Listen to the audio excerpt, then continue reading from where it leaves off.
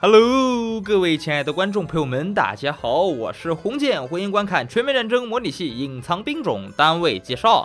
那么这期视频的话呢，我们来到了一张几乎不怎么来的地图，这张地图叫做古代沙河。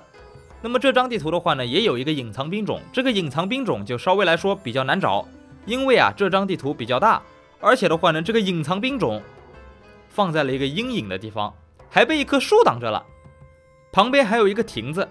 小亭子，那么这个兵种是什么呢？就是这把扇子，看到了吧？啊，这边的话，我们重新来，让大家看清楚，就在红方这边，哎，有一个小扇子。这个地方不得不说藏的是真的好，从很多角度都不能看完这个完美的扇子。咱们接近之后，把它弄高潮，然后，砰，解锁一个持扇人，持扇者。啊，这边的话，我们叫他扇子兵吧，对不对？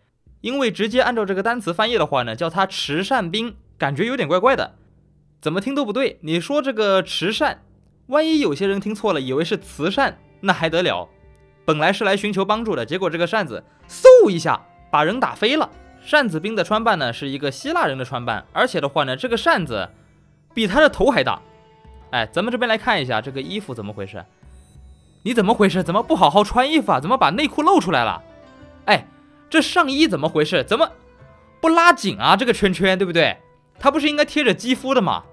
哎呦，你看这个人真的是不文明啊！不过说实话，这个扇子好像比这个人都要高，这个扇叶比头都要大，比胸都要大。我们先放一个见识来看一下扇子兵是如何进攻的。可以看到，这个扇子兵主要就是扇风，扇出来的风能干扰敌方的士兵。由此可见啊，它应该是一个辅助型兵种，主要。就是干扰，所以剑士要劈了他，简直轻轻松松，像切豆腐一。What？切豆腐，拍苍蝇，他他怎么就像他怎么就像苍蝇一样被拍死了？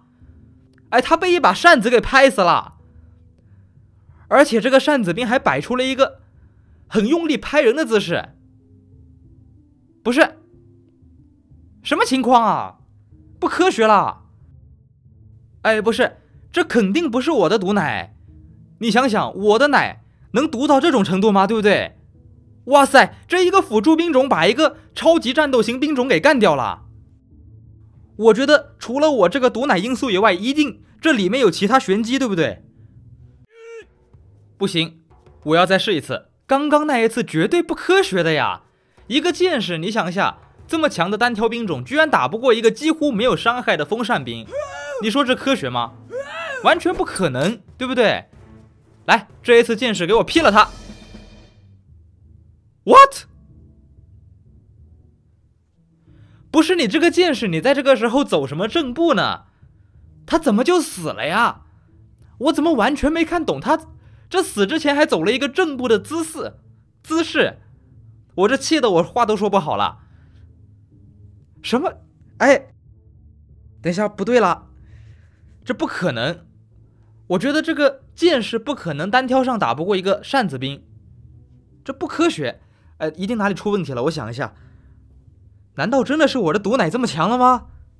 啊？不是，你们这个弹幕说一下，如果说你们觉得应该是我这个毒奶突然间功力倍增，你们打个一；如果跟我的毒奶没关系，你们打个二，好不好？我觉得应该是二。应该跟我这个毒奶没有太大关系，这不可能不科学的呀，对不对？这边啊，我们要证明扇子兵在战术上是具有实际作用的。首先，我们在这个后面是放上了四个弓箭手，然后的话呢，是一堆的长矛兵进行徒步前行，然后用这个扇子兵来拖延时间，看一下扇子兵能不能拖延到把这个比他们价格贵的人数多的长矛兵全部被弓箭手射死。如果能拖延到弓箭手把他们全部射死，就说明这个扇子兵是有实际战术意义的。当然，我觉得这个扇子兵通过刚刚跟剑士那两场，我觉得他不但有这个战术实际意义，他还有这个战斗实际意义。这边有个弓箭手怎么挂了？不过目前来看，好像基本上没剩多少个长矛兵了。哎，游戏结束，看到没有？看来这个扇子兵是有战术实际意义的，对吧？他这个拖延和这个干扰还是非常大的。尤其是对于这种阵型，对吧？本来一个很美丽的方阵，就给你吹成，呃，像像你们早上没叠的被子，哎，对不对？为什么不说是我的被子呢？因为我是叠被子的。你们这个叠被子的可以扣个一，不叠被子的可以扣个二，或者评论告诉我也行。哎，不对啊，我为什么要知道你们叠不叠被子呢？哎，不管了，咱们来统计一下嘛，对不对？统计一下我有多少个勤劳的粉丝。这边测试一下，究竟这个扇子兵能不能把重量型单位给他删退？一排扇子兵，然后的话有请重量级嘉宾猛犸象来看一下能不能把他删退啊？有一定的阻挠，可以看到这个象腿刚刚有稍微往后，但是好像并删不退，可能是这个猛犸象的吨位实在是太大了。看来扇子兵在遇到这种重量级单位还是无可奈何的。怎么回事？怎么我刚刚看到有个扇子兵被扇死了？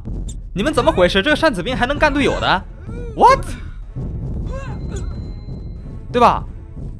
哎，好，没有什么悬念了。